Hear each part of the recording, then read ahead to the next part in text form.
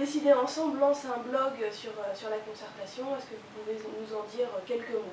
Alors Décider ensemble travaille depuis maintenant son origine sur les méthodes de concertation à développer dans notre pays.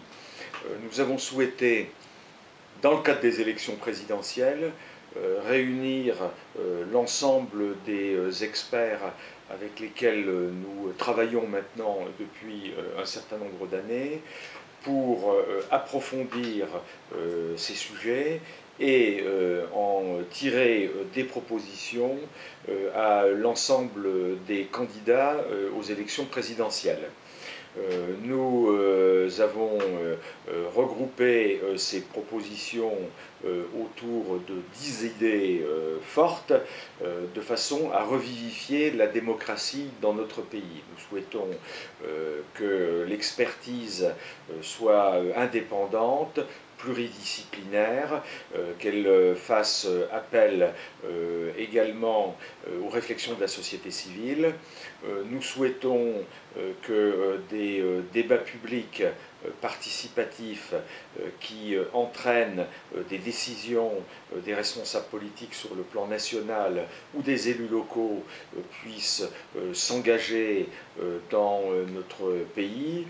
Nous souhaitons que les textes de loi et les grands décrets réglementaires puissent faire l'objet euh, d'une concertation la plus large possible avant d'être engagés.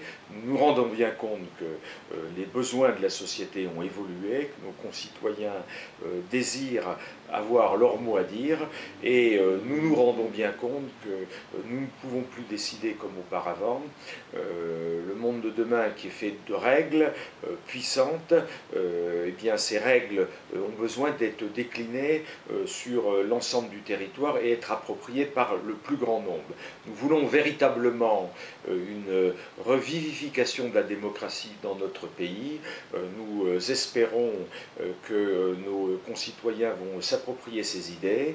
Je vous invite à consulter le site de Décider Ensemble, dont je reprends les coordonnées www.concertationetdécision.com de façon à donner votre avis, exprimez-vous. À la suite de tout ça, euh, nous euh, organiserons euh, un séminaire, une rencontre, de, une rencontre dans le courant du mois de février et nous inviterons les responsables politiques de notre pays de façon à ce que chacun puisse s'exprimer et dans les programmes électoraux tenir compte de ces propositions de, bon sens pour l'ensemble de nos concitoyens.